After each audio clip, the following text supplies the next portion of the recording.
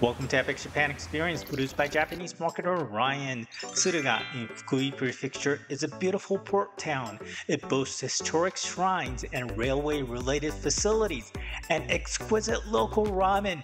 Join my exhilarating cycling trip. Let's check it out.